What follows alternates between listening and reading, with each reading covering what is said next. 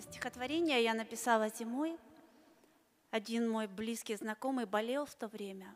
Хотелось как-то его согреть, поделиться теплом своей души. И так родилось это стихотворение. А ты знаешь, что лечат душевным теплом, Лечат лаской, заботой, добром и вниманием. И не важно совсем, где ты в данный момент, далеко-далеко или рядом со мной, не имеет значения для чувств расстояния. Можно мыслями с близкими быть и душою друг друга касаться, и теплом согревать, помогая тем самым с болезнью, бедою справляться.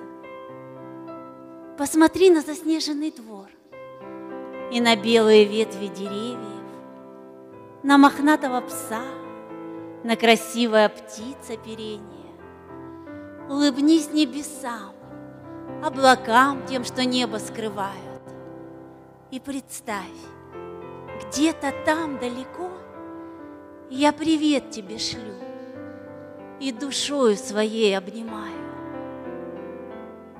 Сразу станет светлей и теплей, и быстрее отступят невзгоды, потому что любовь исцеляет.